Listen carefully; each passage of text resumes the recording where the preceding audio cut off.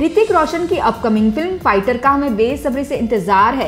इस फ़िल्म में दीपिका पादुकोण और अनिल कपूर भी लीड रोल में है। रिसेंटली मेकर्स ने इस फ़िल्म का मोशन पोस्टर जारी किया।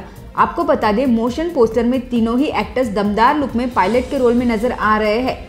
वैसे फाइटर का मोशन पोस्टर किंग खान ने भी देखा। शाहरुख खान ने इस पर अपना रिएक्शन भी दिया। शाहरुख ने लिखा, वाह, ऋतिक, दीपिका और अनिल कपूर तीनों ही शानदार लग रहे हैं। ऑल द बेस्ट डुगू और सिद दोनों फाइटर्स जीतते रहो. इस तरह शाहरुख खान ने फाइटर के मोशन पोस्टर की तारीफ़ की. आपको बता दें, सिद्धार्थ आनंद निर्देशित फाइटर 25 जनवरी 2024 में रिलीज़ होगी. वैसे क्या आपने फाइटर का मोशन पोस्टर देखा है? अगर देखा है तो आपको कैसा लगा? आपकी राय हमें ज़रूर लिखेगा हमारे कमेंट सेक्शन में. Also please do subscribe our channel Nation Now Mumbai से विदिता प्रताप नेशन नाव